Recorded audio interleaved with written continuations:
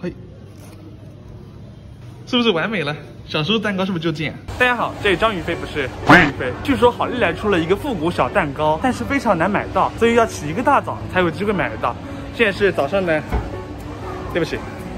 现在是下午的五点四十分，我就是说起了个大早，我准备去碰碰运气，看看说今天有没有机会能买到。除了买这个复古小蛋糕以外呢，还准备买一些其他的没有吃过的蛋糕。今天我们就一起去简简单单的吃一点，好吧？开冲！那个小花蛋糕还有吗？没有那两款了，就这两种了。反正看起来还可以，你们你们说要哪个？要这个的吧，这便宜一点，三十块。哇，我这看着不错哎。啊？还有还有哪里啊？哪个？啊那哦哦，就是这个。帮我拿一个，这个这个这个这这，拿这个拿这哇这这好有意思，这个这个是啥呀？这这个这是草莓果酱草莓球联名款。帮我拿一个这个蒜香哦，这帮我拿一个可以？蒜黄油蒜香的乳酪，再拿个这个吧，玫瑰淘气包，这肯定要拿一个。这个你看芋泥卷，国王排名的半熟芝士，必须搞一个。这个感觉看着也好吃啊，这个周日葡萄的芝士。这可以啊，这个一种可以吃好几个口味，其实还有蛮多的。但今天是早吃点嘛，我们拿点上次没有吃过的。我刚买好了，我找了一家咖啡店坐下了，这家咖啡店氛围还蛮好的。你发现没？我剪了新发型，我觉得之前理发师给我弄的，我觉得不是特别好看，我现在自己弄的反而稍微好看一点了，我觉得蛮干净清爽的。你们觉不觉得？一百八剪的头，我一开始觉得很丑的，但我今天发现视频里反而还好，对吧？就是蛮干净清爽的，对吧？符合我的要求。给你看一下我总共买多少，我总共买了两大袋。你们猜猜多少钱？这两个加起来总共是两百七十一块钱。OK，，希望给我回波钱，谢谢大家。好，我给你看一下总共有哪些东西，全部拿出来哦。复古小蛋糕，五种口味的三十周年半熟芝士，芋泥雪贝，多肉葡萄味的雪绒芝士，国王排名的半熟芝士，黄油蒜香乳酪包，玫瑰淘气包，黄金乳酪蛋糕，香肠虎纹包。今天又是打胰岛素的一天。第一位当然是先吃我们的复古小蛋糕，但是我觉得这个复古小蛋糕它是差点意思的，差哪里？差儿子没拿出来。不是不是不是。是不是完美了？小时候蛋糕是不是就这样？就是把一个伞插进去，全网第一个最完整的复古小蛋糕。这朵花你先吃，不正宗。我们儿时吃都是植物奶油，它这个是动物奶油，一吃就能吃得出来。你能感受到那股动物的油脂的感觉。这个反而奶油很多。膏体特别少，小时候我们吃的应该是膏体特别多，但奶油特别少。除了口感和奶油的味道不太接近，但其他我觉得还是蛮接近的。尽管说这个视频可能发的时间不是你生日那天，但是你看到我祝你生日快乐，这份祝福依然有效，好吧？要是我儿时这个蛋糕是这个味道，我感觉我儿时就应该就会变成一个小胖子，长大后就变成一个大胖子。然后第二个吃什么呢？哎呦，好难抉择！你们说先吃什么？第二，我想先吃这个芋泥雪贝。各代表们老规矩啊，好吧？哦，它是这样一个，就是它很紧密，你们看，中间是非常厚实的芋泥，然后旁边是两块蛋糕夹在中间。熟悉我的朋友们都知道，我是一个非常喜欢吃芋泥的人，所以说这个就是我最爱。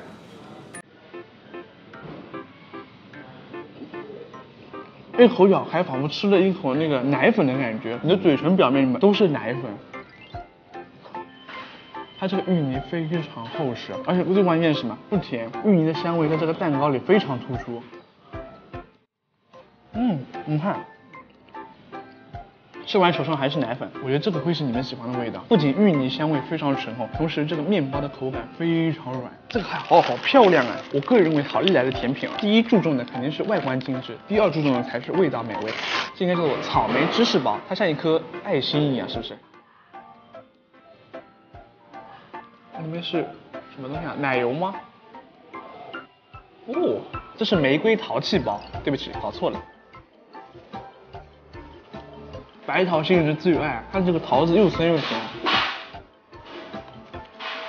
它这个白桃的酸味恰到好处啊，而且是能吃到那种大颗大颗的白桃果肉的，唯一缺点就是吃完手上全是粉，好吃的，大块感觉像是芋泥一样，你看，玫瑰奶油，我是怎么有一股非常浓烈的玫瑰味。嗯。没办法，没办法，当明天早饭吃。你们不会以为我把这些蛋糕全吃完吧？还点了一杯 dirty，因为我喝咖啡我只能喝 dirty。嗯，贼解腻，就是你口腔那股甜意直接被冲刷到没有了。然后吃下这个吧，半熟芝士，它有总共有五种口味，你们最想吃哪一种？我觉得这个荔浦芋泥肯定牛好吃，这个薄茶，这个红爵薄茶。伯爵红茶肯定好吃，先吃哪个？你们说。小公鸡点到谁我就吃谁。好，不行，我还是想先吃这个。我今天来这家店，他们家这个荔浦芋的蛋糕牛好吃，但是我就不说了啊。来，把这外皮撕掉。闻着就像一个普通的半熟芝士一样，你看，非常的软哦，软嫩。轻轻一蹭，把它外皮蹭下来，啥味道？嗯。我懂了，它就是把夹心注入到普通的半熟芝士里面。哇，我感觉我现在仿佛置身于一半是芝士的海洋，一半是芋头的海洋，仿佛就在中间左右徘徊，你知道吗？就在一个中间游来游去的感觉是一样的。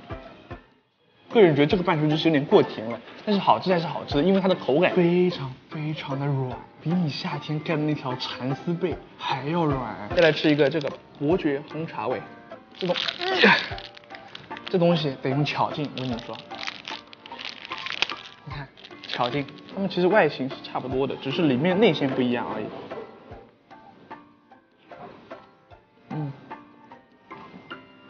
扑面而来一股非常浓郁的红茶香味，仿佛给你吃了一个红茶味的巴掌一样，而且有一股淡淡的柠檬味，是怎么回事？反而不只是淡淡的红茶，有点像柠檬红茶的感觉，这味道是我喜欢的味道。因为我喜欢红茶味和柠檬味，因为它总共有五个嘛，我就不全吃完了。你蛮想看哪一个？我相信你们肯定应该想看中间那个吧。我觉得擅自替你们做决定了，我觉得你们会喜欢这个，试着打个一。它居然是红色的，我以为它会是白色或者粉色，一股淡淡的乌龙白桃茶的味道。因为它这个乌龙白桃的味道并没有过于浓厚，所以说感觉绝大多数的味道都是被半熟芝士给抢去了。高情商的一点说法就是，它这个乌龙蜜桃的味道有点像尾调。还有这个，这我觉得蛮有意思的，就这个虎纹包，因为今年是本命年嘛，所以我想吃一下这个面包，看起来挺可爱的，像一只老虎一样。咬了半天，居然没咬到香肠，它里面是一根香肠。你们有没有跟我一样，就特别喜欢吃这种带香肠的面包？有些面包它的香肠是真的牛好吃。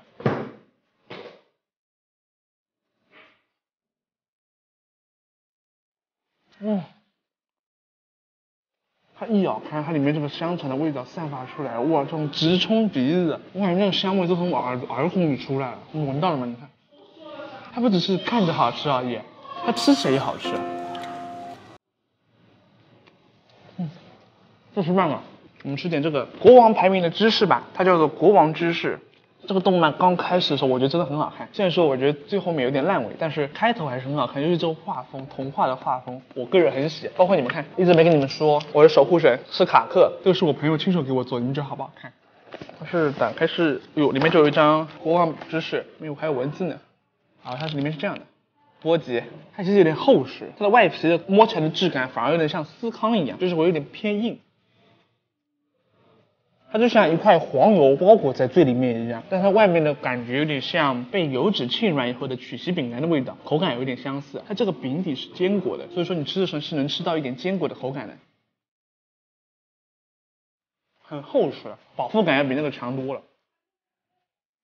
嗯，这是好吃的。我看这多少钱一盒？这个卖三十九，这个我就卖十块钱一个，我觉得还行，真的。并且它有联名嘛，一般来说联名约等于昂贵。我还想吃这个黄油蒜香乳酪包，这应该是咸的，现在吃的都是甜的，所以我特地买了个咸的，想综合一下口味。非常浓的一股就是那个蒜香黄油法棍的味道，它中间都是满满的乳酪酱。我们一人一半，感情不散，可以吗？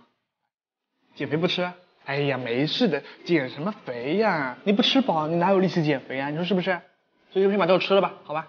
如果说以后你的家人们或者你的朋友们问你为什么减肥失败了，你都把责任推给我，好吧？你说都是这个博主，他吃太香了，每次在减肥的时候都给我看这些好吃东西，所以说我减肥失败，主要的原因就是因为他拍的太诱人了。以后都这样说好了，没关系的，都怪我。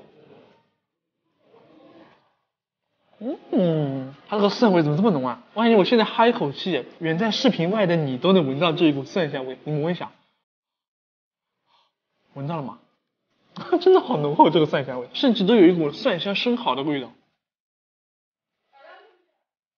包括它这个乳酪其实也是咸的，这个面包的整体口感是有点像碱水包的一样，就非常有韧性，你几乎不可能牙齿瞬间把它给切成两半。哎，你们知道吗？其实这个世界上的刀并不是把东西切断，它只是把东西给挤成两半。我之前看纪录片还是什么东西看到的，就包括我们牙齿也是，并不是把它切断了，只把它挤成两半而已。还有再吃一个这个雪绒芝士多味葡萄的，你们先看，我不看了啊，我就你们先看，我也不知道你们长什么样，好看吗？这是我能想象的样子，这是我我觉得是在我意料之中的样子。它的饼底是这样的，就是有点像坚果饼底，很前面还是一个完整的半熟芝士。你知道甜品这种东西，它就是得细嚼慢咽，才能品出它其中的奥妙和美味，你知道吧？我们以后吃甜品一定要细嚼慢咽啊，知道吧？